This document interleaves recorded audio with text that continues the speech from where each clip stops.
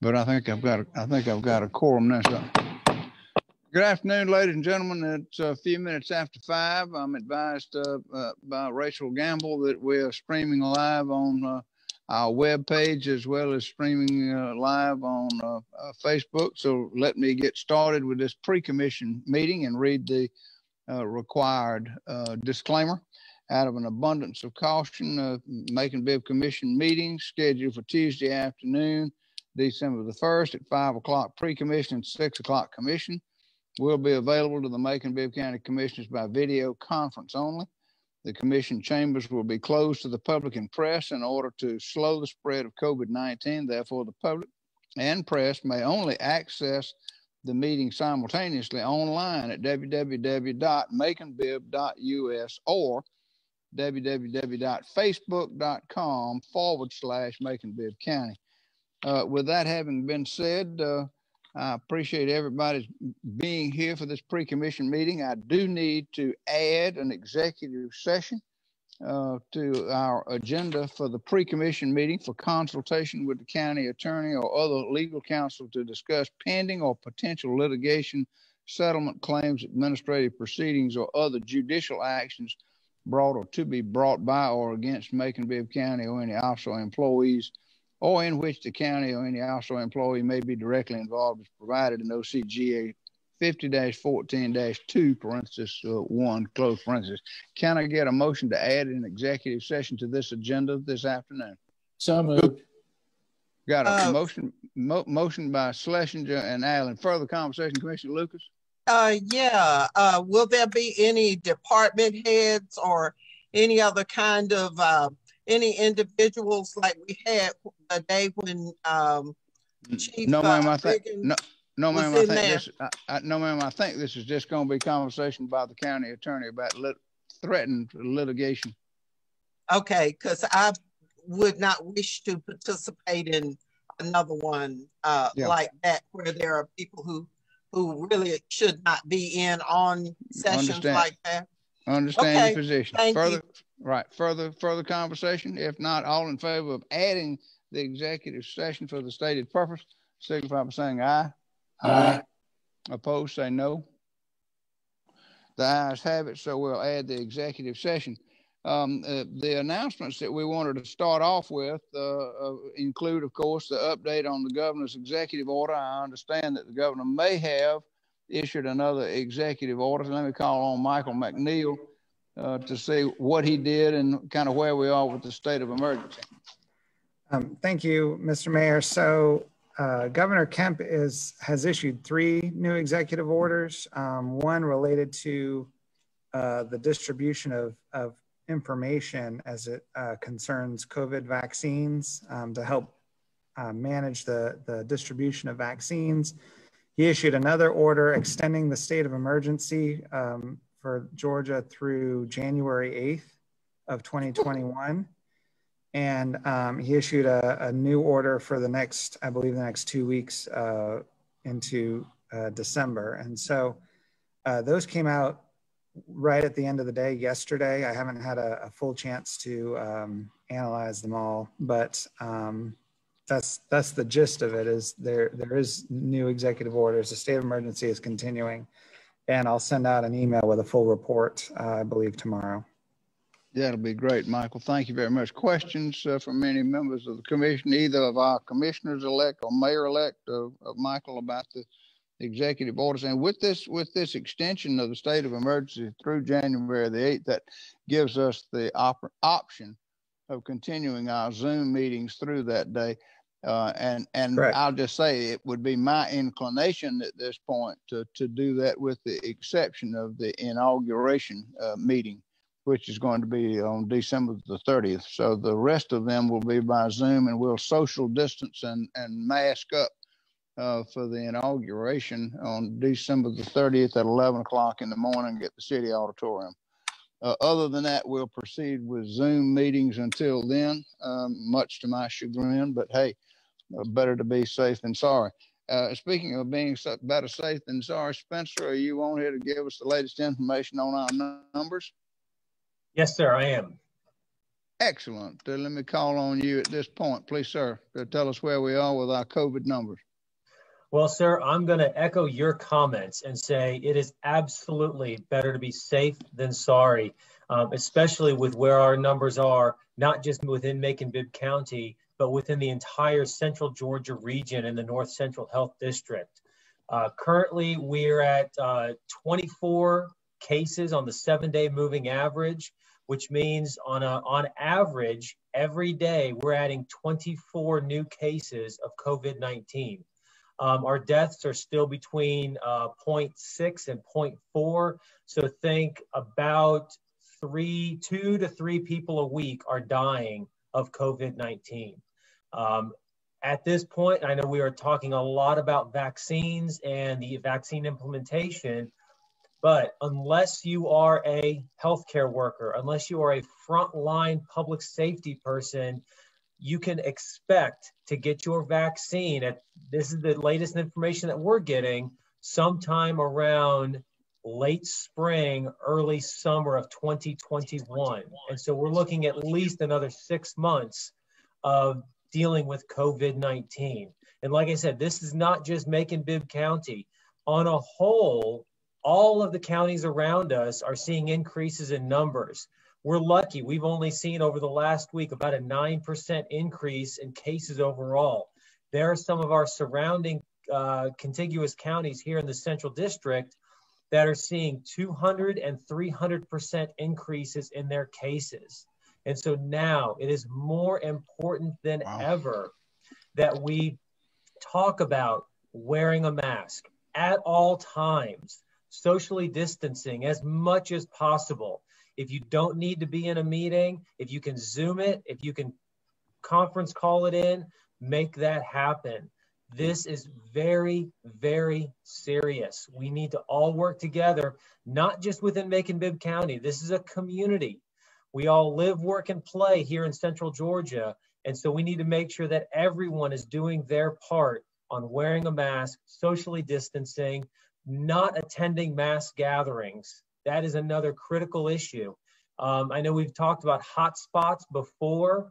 Um, 2% of our total cases here in Bibb County can be attributed to a specific hotspot or a congregate setting or something of that nature. Other than that, the balance, the ni- other 98% of our cases that we're seeing are community spread.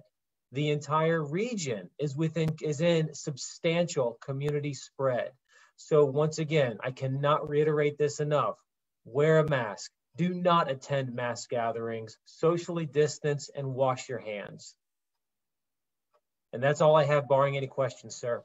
Any questions for Spencer by members of the commission? Hearing none, Spencer, thank you very much. Um, we appreciate your keeping us apprised, um, and and we we appreciate it. And like I said, word words to the wise. Thank you, sir. Um, moving on, the uh, next item on our agenda is to review the agenda for tonight. But if you'll permit me, I'm going to go over to the consent agenda first and the executive session, perhaps, and then we'll we'll see kind of what we are. Uh, well, no, I won't. Uh, let's just let's just do it like it says do it. So so to review the uh, meeting agenda for tonight uh, we'll have a, an opening prayer. I understand that Commissioner Allen has agreed to give us our invocation, so I'll call on him for that. The approval of the minutes of, of our pre-commission and regular commission meeting of November the 17th will be next. Uh, then we'll have reports from our committees. I think the Operations and Finance uh, Committee will give us a report.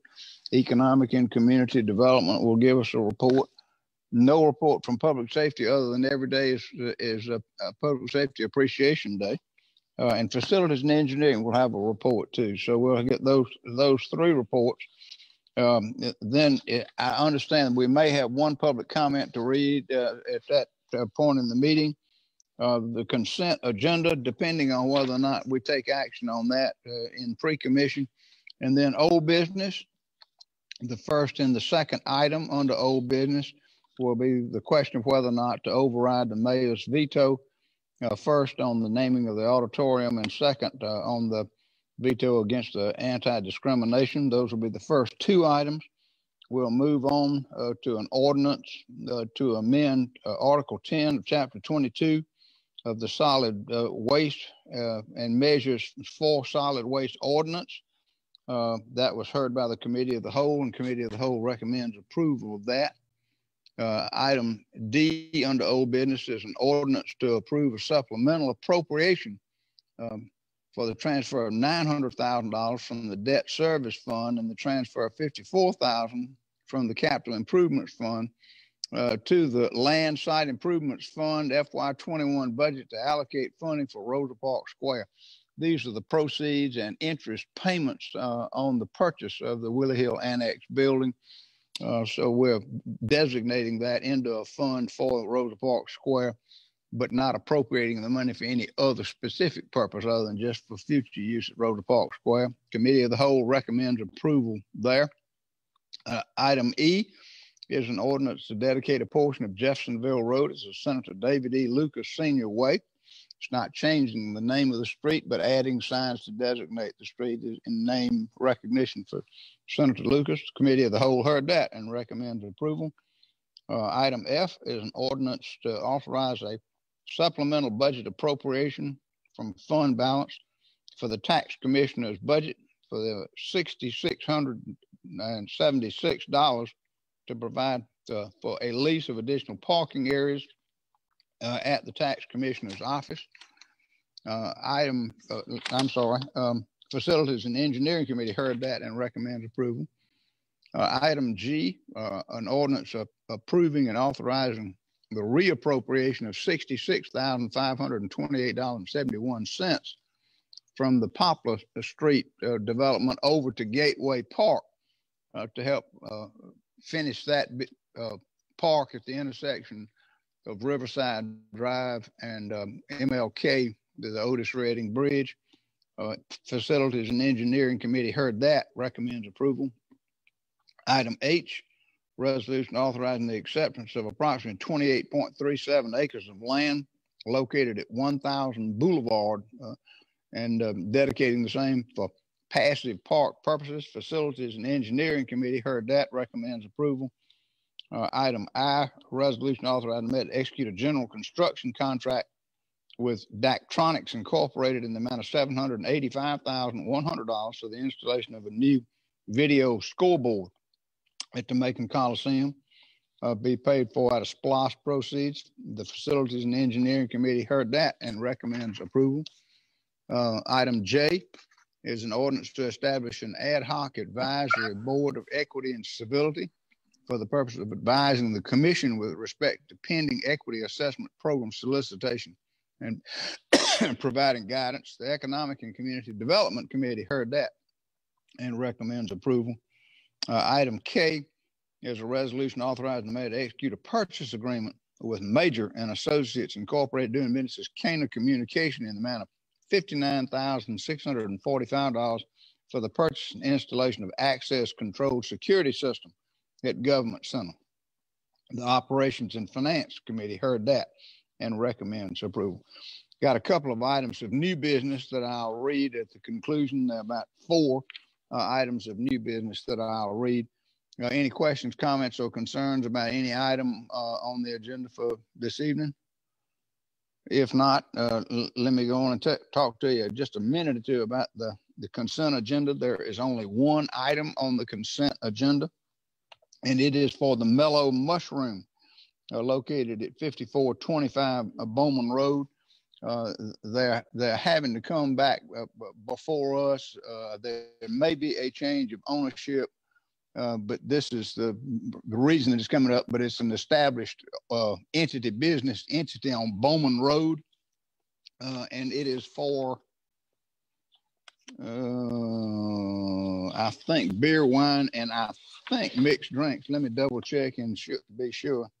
Yes, uh, malt beverages and distilled spirits, all three consumed on the premises there at the Mellow Mushroom. Um, but it has the sheriff's certificate, planning and zoning, the distance requirement, et cetera. It's just a change of ownership that uh, is requiring us to do that. If any questions, let me, let me have them. If not, can I get a motion to issue the license as requested So moved.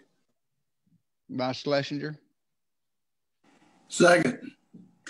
By Allen? So got a motion and second to issue the license uh, to the uh, Mellow Mushroom. Further Did they, discussion? did, Mr. Mayor, did they have liquor license already? Did they have liquor out there already? I knew they had beer and wine. Michael, I don't know the answer to that. I, I, I, I don't know for sure, Mayor. I believe they do, um, but I don't I'm know for sure. I haven't been there in a while. to be, Yeah. to be honest, Commissioner Wynn, I can't tell you yes or no because I didn't see the previous license, but this is, this is uh, including, uh, beer, wine and liquor mixed drinks consumed on the premises. I'm assuming since it's just being a new owner that they're just taking up the old beverage, beverage licenses I they don't, I, had. I, so- I, I'm kind of assuming that, but I don't know. It could be an addition of liquor mixed drinks. They probably had beer and wine before, I, but I don't know.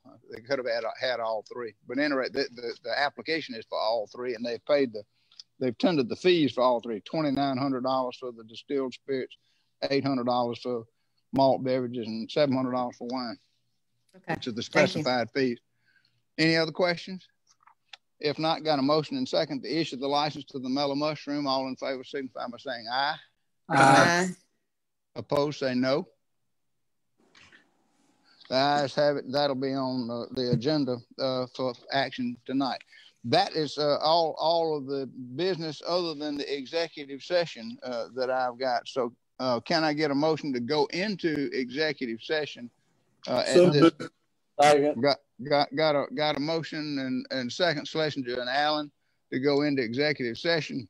Whatever. All in favor of uh, going into executive session to consult with our attorney about threatened or pending litigation, signify by saying aye. Aye. Aye. Opposed, say no. No. Commissioner Lucas got a no. Any other no's? The ayes have it, so we'll go into executive session. Rachel, would you explain to everybody uh, uh, that's in the waiting room? But I do want the commissioners elect and mayor elect to come in with us into executive session so they'll know what, what's going on. Absolutely. So we don't have anyone on the meeting currently who will need to be placed in the waiting room. So what I'm about to do is stop our live stream to Facebook and the website. So this meeting will be closed off to just those within the meeting here that y'all can see. Um, so I'm going to stop that live stream now. And then to anyone watching on Facebook and our website, um, just tune back in when we go live. It'll be up live for a minute or two before we actually start the meeting. So you'll have a chance to rejoin for the uh, full commission meeting. Excellent. Uh, we are uh, out of executive session now at the pre-commission meeting, and there being no further business uh, necessary as a result of the executive session, uh, uh, can I get a motion to adjourn the pre-commission meeting So moved. by Schlesinger and without objection? Without objection, the pre-commission meeting is adjourned.